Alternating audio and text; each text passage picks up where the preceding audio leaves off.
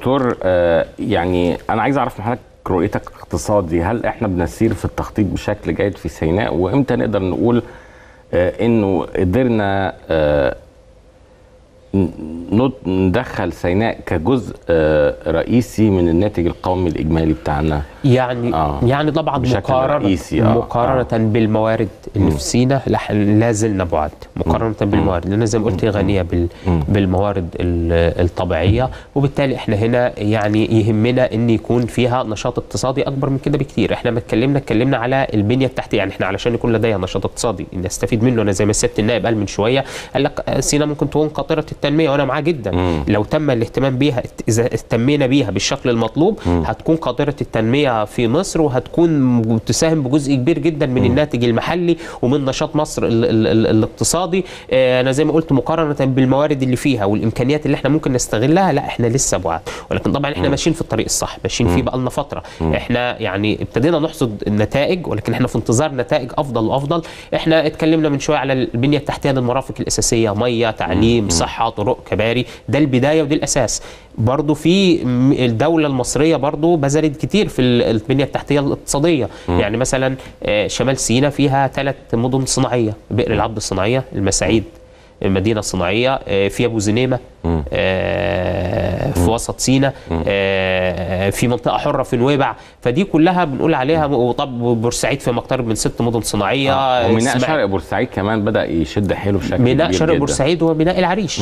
كمان يعني حتى إن ميناء العريش, العريش بيخلص. كان جزء من آه، قناة السويس الجديدة. يعني قناة السويس الجديدة لما اتعملت هي ليس كان فقط ممر آه، ملاحي ولا ممر مائي فقط تمر فيه السفن لكن كان مرتبط أيضا بإن تم تطوير خمس مواني. الادبيه ميناء الأدبية من ميناء عين السخنة ميناء العريش. يتعمل لأن أنت طبعا هنا محتاج هيكون فيها مصانع مدن صناعية معناها فيها مصانع العريش كمان مخطط له إنه يفتح آه، نشاط اقتصادي آخر اللي هو السياحة كسياحة يخوت آه، ك مارينا يكون آه، في آه. مارينا يخوت زي موجودة في سلام مصر برضو بالظبط. مدينة بورسعيد سلام مصر المدينة أو الجديدة تسهل وصول السياحة عن طريق السفن وفي شمال سيناء زي ما كان حضرتك برضو بتقول إن إحنا عندنا شواطئ كتير مش مشتغلة في سيناء. طبعا بالفعل يعني يمكن ال- يعني. ان وجود أكتر من نقطة في مصر آه، مقا- مقاصد سياحية بتقصدها السياح طبعا دي حاجة مهمة. كمان عندنا جنوب سيناء نويبع دهب آه، رأس شيطان رأس محمد دي كلها نقط بتجذب السياح وبالفعل في سياح بيجوها عشان يستمتعوا بال- بالأجواء والجو الجميل. فإحنا وهيخش المفروض مشروع التجلي الأعظم قريب يعني. طبعا متهيألي إحنا كلنا في انتظار طبعا. هو مشروع ضخم وعملاق طبعا آه. كلنا في انتظاره. بيخلص ده بتهيألي. خلص يا بنت ه- سانت كاترين الأعظم ده سانت كاترين. طبعا هيعمل حراك سياحي طبعا وإحنا بنعول على السياحة يعني السياحة برضو بنعول عليها لأن سريعة يعني ادائها. سريع ومش.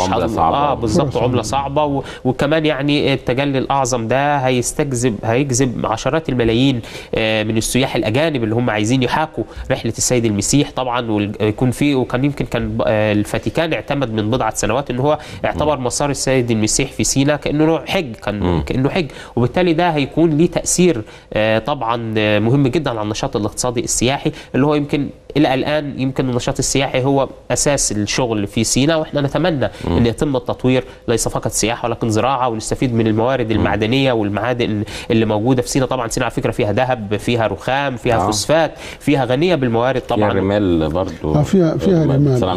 رمال. أسود رمال سوداء ورمال بيضاء يعني يعني أقول لحضرتك على حاجة يعني أبناء آه، سيناء أطلقوا في الفترة الأخيرة زراعة 100 مليون شجرة زيتون. 100 مليون شجرة زيتون آه يعني ابتدوا الناس يعني يا ريت ده. دي مبادره هتتبناها يعني كل أبناء سيناء هيتبنوها خلال الفترة القادمة. والله ده شيء مهم جدا. لأن إحنا بنشوف غالي جدا. بنشوف بنشوف زيت الزيتون. غالي آه، أوي. ده سوق عالمي يعني طبعا. برميل زيت الزيتون ممكن يوصل آه، أكتر من 10000 دولار. طبعا. برميل بترول آه، أيوة. بكام. ف وده ليه سوق عالمي يعني طبعا. مش مش مش سوق محلي. والسوق المصري كمان والسوق محتاجه. المصري. محتاجه كمان. فالارض الزراعية يعني عندنا وبعدين آه، المواطن السيناوي بيعرف طبيعة الأرض لأنه إيه؟ الأرض الزيت شجرة الزيتون ما بتحتاجش آه، مياه آه،. زيها زي أي زرع غامرة حاجة. شجرة الزيتون ممكن سنتين مرتين في السنة وثلاث مرات تسقيها بت- بتستمر ومع- شجرة معمرة تقعد أكثر من يعني بتوصل ل 70 80 100 سنة شجرة الزيتون. بالإضافة إنها بتحتاجش آلات رش كتيرة أو أو خلافه.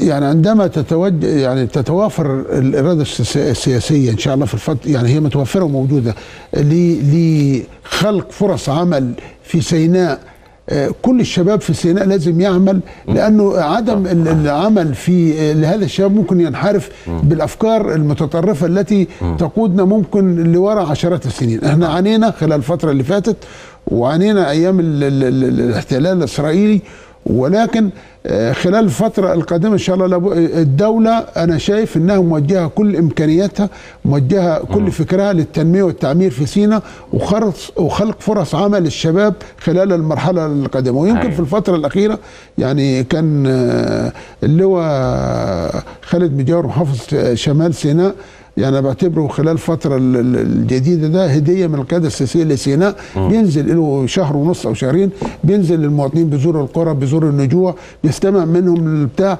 فكره وبيقول بيقول أنا جاي للتنمية والتعمير يعني في التواصل سيناء الحكومي بقى أحسن من آه،. جدا. وهو آه، بيأكد في كل لقاءاته إن أنا جاي عشان التنمية والتعمير. المحافظين السابقين عملوا في ظروف صعبة جدا.